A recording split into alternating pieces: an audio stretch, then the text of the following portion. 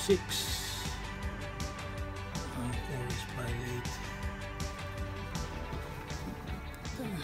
Twenty-five inch round.